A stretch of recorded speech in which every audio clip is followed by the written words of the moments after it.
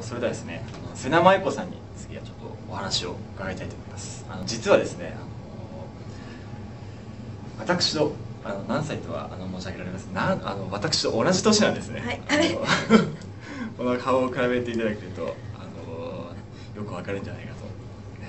私がどんなに老けてるかえそれはまあ置いといてそんなことはどうでもいいんですけども。ええーとこんにちは。趣味をえ聞いてみましょうか。趣味。はい、えー、と今はそうですね最近行けてないんですけどビリヤード。あとは読書時間があればしてます。こう見えても。なるほど。はい。読書は例えばあ誰？がの私は大好きな作家さんがいては宮部みゆきさんが好きです。模倣犯をはい。見まだ読んでません。そうですか。やってください、はい。えーとビリヤードはもう何年ぐらい？ビリヤードは3年ぐらいですね。あはい。かなりコンコンコンコン入ってしまうようなそうですよ。そうですか、どうですか皆さん。ビリヤード場が似合いますね。他に何か得意なものとか。睡眠時間ぐらい。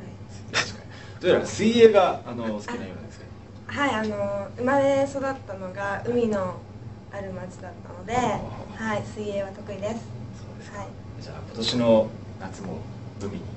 はいえっ、と行きますイベントには来ないかもしれません。海に行っちゃってるかもしれませんというわけでですねあの8月の10日11日ははい。必ずイベントの方に。はい。ホットドッグ2000にぜひ来てください。はい。